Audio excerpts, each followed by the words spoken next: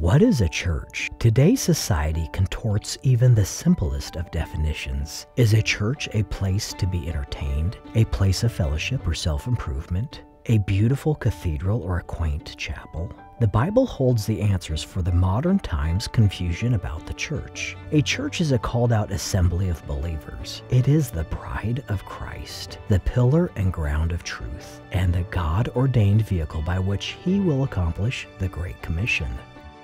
Just north of downtown Oklahoma City stands the historic Calvary Baptist Church building. In 2013, it was renovated for use by a local law office while still preserving its distinctive church look. The called out assembly of believers that met here for decades, however, no longer darken the doors. It's a church building with no church. Sadly, this trend isn't limited to Oklahoma City. Baptist churches all over the nation are closing their doors, and many pastors are considering a new journey when they should be settled.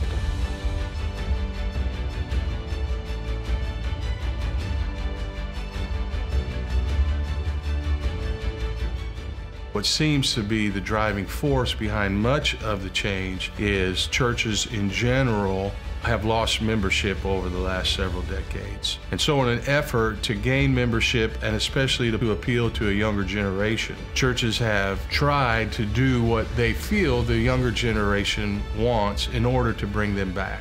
Many churches have gone away from some of the basic things that all churches of different stripes did uh, a hundred years ago. The basics are some of those things that many churches and even many pastors kind of mock, and that's the basics of teaching His Word, preaching His Word, uh, singing together hymns that were written by a generation that knew a lot about God and loved God. Basics also means an emphasis on basic doctrines.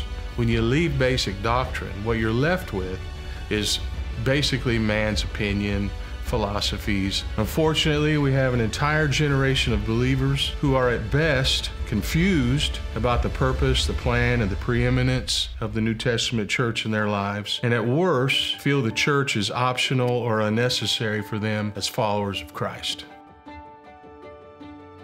The two ordinances which Jesus gave his church were baptism and then what we call the Lord's Supper. Baptism is identifying with Christ through immersion, which really is the only way you can truly be baptized. The word itself means to immerse. And so in the local church, people identify with Christ after their salvation by the mode of baptism. And so we believe that's an important part, first step of a believer's Christian life. And then the Lord's Supper, what we're doing is remembering his death, his broken body, and his spilled blood on the cross to purchase our salvation. And so when we do that, it's a great time of remembrance and reflection as we think about ourselves and our own shortcomings and our sin, and we think about Christ and what He did for us on the cross.